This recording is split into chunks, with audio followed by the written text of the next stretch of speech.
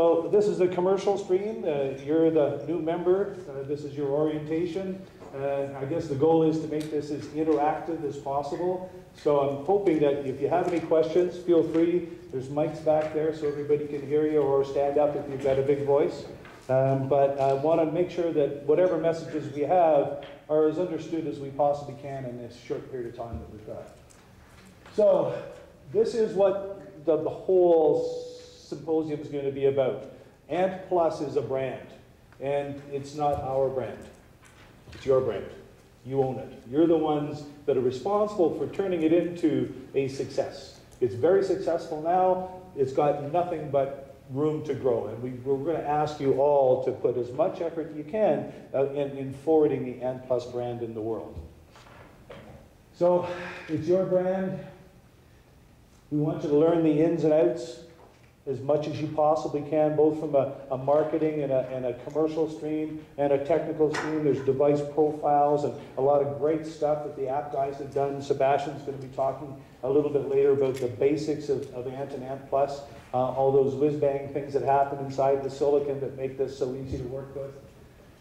The Alliance, you know, it's a, it's a group we want to form a, a, a swell. We, it's like a college fraternity. We'd like to make you all remember that when you're looking to save somebody or looking to support somebody in, a, in an argument whatever, your alliance buddies are your next best friends. And we want to try to help you get to that. And there's a lot of competition in the room. There's people that you know, make the same product, maybe even targeting the same customers. So hopefully we can get everybody fighting a different battle instead of uh, fighting each other. So. And we want you to ask a lot of questions. Um, that's how you learn. Uh, that's how I learn. Uh, and any question, no matter how silly you think it is, is not silly at all. It's, it's an important piece of information that we haven't completely explained to you yet.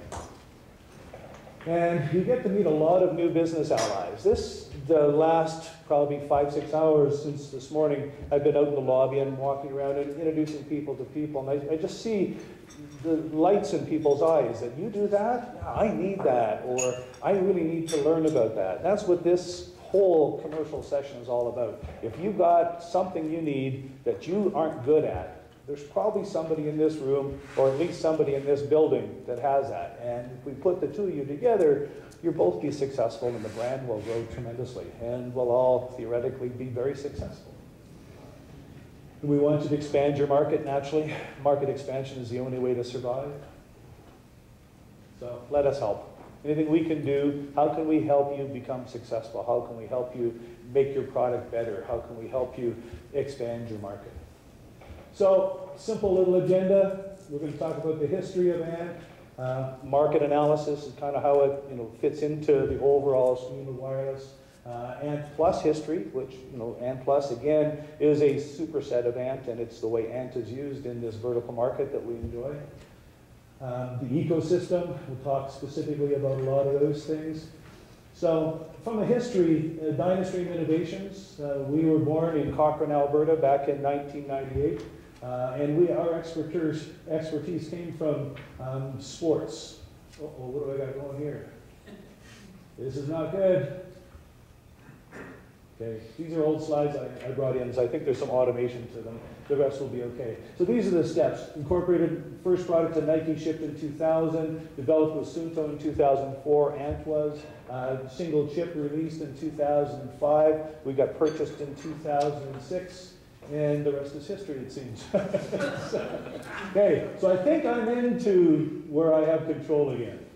There we go. So this is a proprietary low-power radio. Nordic Semiconductor and a couple of other manufacturers uh, live in this space. This is non-IEEE, non-standard type of radio. It's used for a variety of different things. And you can see this is the data rate down the bottom and your effective range on the top. It's a big, big area. It covers you name it. Um, and that's really hard to make a product out of. It services a bunch of needs, but it's just a platform for a lot of people. We tried uh, using some of the earlier technology and found that it was too broad-based to serve our real needs. So Bluetooth came along back in, I think, 96, claiming that they were going to remove all of the wires. Um, and I, I think there's still wires out there, so they weren't entirely successful. But they found themselves in a relatively good data rate, um, relatively good distance. Um, so that's kind of where they fit in. Um, our friends at Wi-Fi, ubiquitous, they're everywhere. They're at Starbucks, you know, there's Wi-Fi all over this hotel. Uh, serves a very interesting market space. Again, a lot of data rate, fairly high distance. Um, again, not where we want to be. Uh, our friends at Zigbee uh, decided that they were going to try to be very long distance uh, with a very small data rate and, and run on a fairly low power. Um, and they've been fairly successful. Unfortunately, they just have a little bit too many revisions to their product to make them compatible backwards and forwards. So um, we didn't choose to go that direction. Um, ultra wideband, uh, it's the dodo of the wireless world. It came and kind of disappeared just as quickly, but promising stupidly large data rates with very short distances and really low, low, low power but it just, there was no use case that really made a lot of sense to it. So I don't think it's going to end up resurging. And then we have ANT and ANT Plus. So we chose to pick this little corner over here because there was a need for PAN networks. There was a need for the ability to monitor simple data structures, simple message rates on a coin cell battery. That first product that we made going to the watch was a real challenge because the watch runs on a coin cell. An ant had to be developed for that. So we didn't think of all of these things. We just focused ourselves on, on that small little area. And we carved out a, a pretty nice niche. As, And we're not trying to sell you guys on that because you're all drinking from the Kool-Aid. So that's great. So the ecosystem now has become uh, a solution that works. So if you think of a single pan back in the old days, you're running or you're cycling, you were by yourself, you looked at your watch, you had your average uh, heart rate, you had your peak and, and, and low heart rate, you had your speed, you had your distance, and that was data that you used and you remembered, and that, that was it. And then we kind of developed the, uh, the next step of getting into the fitness equipment with uh, a communication of uh, um, cadence and speed sensors and the power sensors, and they started talking to each other, and then there was multiple paths. This is now the culmination of a simple star network um, that is servicing a use case that makes a lot of sense. The data no longer is just you and your watch. The data is the power data, the cadence data, and everything going to a mobile platform that you can bring along and start talking to um, a PC, cell phones, or whatever. So that's what we've created, and we're going to continue developing that further. Uh, we have a long-term vision with, with this in mind. Everything is going to just work. We want to make it so it just works. If you think of Apple and, and their concept, they're a why solution. Why do you want to use this? Because I'm, you know, counterculture, because I'm uh, an artist or whatever. That's why I choose Apple, because it's different. It's not how or what it does. That's what we are. We want to make sure that you guys see we're doing this because it just works. We're trying to remove the hassles at the consumer level or even the developer level. And we want to uh, make the sectors able to grow on their own. Again, it started with running, moved to cycling. We're now in the fitness side of things. We're in the health side of things. Eventually, these sectors will work and expand on their own, all because of the long-term vision and the fact that we chose to make it just work. And the more we make it easy, the easier it is for us to convince people to use it. The uh, more times you don't have to push a button, the more times you'll use the product. Uh, that's the overall goal of what we're trying to do. So in general, this is what Ant Communication, those of you that perhaps haven't used our product yet, I know there's some people that just joined uh, last week. and well, I thank you for, for taking that, uh, that plunge into space without really knowing what was going to happen. But this is the way Ant communication is based. You have a little bit of protocol on either, uh, either side, and you have a simple payload of eight bytes. So you know, that's, that's what gives you coin cell operation. Then you have to determine when you're making your connections from transmitter to receiver, you have to define what those channels look like. And there's three different network styles.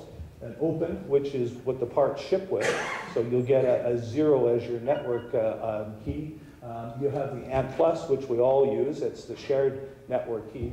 And then we have a private network for those of you that want to make sure that no one else has access to that key. It's under your control. But in every case, you have to define the frequency, the network key, the message rate, the transmission type, that type of information in order to be able to establish a transmit and receive link. But within Ant Plus, we've done all that heavy lifting for you. So everything is completely defined. That gives you a chance to go in and be something that you weren't 10 minutes ago. And just by using the, the tools that we're going to talk about, you can get a product up and going really quickly and, and impress your, uh, your management, which is always, and is there any management in the room? Ed, you're a manager? No? Okay. So when we, when we come by and we look like we worked really hard and we show you something, uh, it is really fairly simple because it was all given to us from a, from a, an Ant Plus definition. So again, eight bytes of data, the network ID, channel ID information. We all familiar with this? Any questions on what these things mean? It's basically how you define what that device is and, and what it's supposed to be doing. 16-bit device number, real simple. You put it in, sometimes it's part of a serial number, sometimes it's a random number generated, and then the data that you add. And there's use case specialties down at the bottom where we start talking about secure pairing in the medical world. You just can't have a, heart rate talking to a watch in the fitness world, um, and, and live in the medical world because they're very worried about your heart rate information going to somebody else. So there's secure pairing, there's an authentication in the link layer. We're going to be talking about encryption in, in the future, so that's not something that we have now, but onboard encryption, which would help, again, to keep that data secure. Uh, the key transfer process inside encryption, and then the formatting of the data, the file structures and that. Those are all use case kind of specialties that we've, we've developed under Plus. So there's the easy way.